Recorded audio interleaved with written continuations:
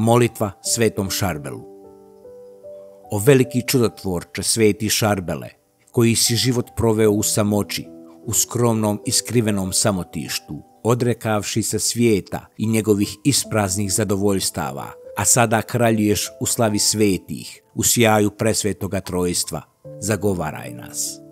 Prosvijetli nam razum i srce, umnoži nam vjeru i ojačaj našu volju. Uvećaj našu ljubav prema Bogu i bližnjemu. Pomozi nam činiti dobro i izbjegavati zlo. Brani nas od vidljivih i nevidljivih neprijatelja i budi nam na pomoći tijekom cijelog našeg života. Ti koji činiš čuda onima koji te zazivaju i postižeš ozdravljenje od bezbrojnih zala i rješenje beznadnih ljudskih problema, pogledaj milosno na nas. Iako je to u skladu s Božjom voljom i na naše veće dobro, isprosi nam od Boga milost koju molimo.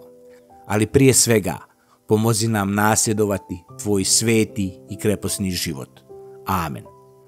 Oče naš koji jesi na nebescima, sveti se ime Tvoje, dođi kraljevstvo Tvoje, budi volja Tvoja, kako na nebu tako i na zemlji.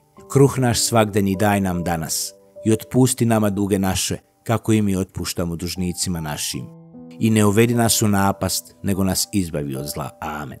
Zdravo Mario, milosti puna, gospodin s tobom, blagoslovljena ti među ženama i blagoslovljen plod utrobe tvoje Isus.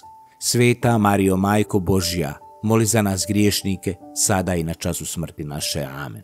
Slava Ocu i Sinu i Duhu Svetom, kako bijaše na početku, tako i sada i vazda u vijeke vjekova. Amen.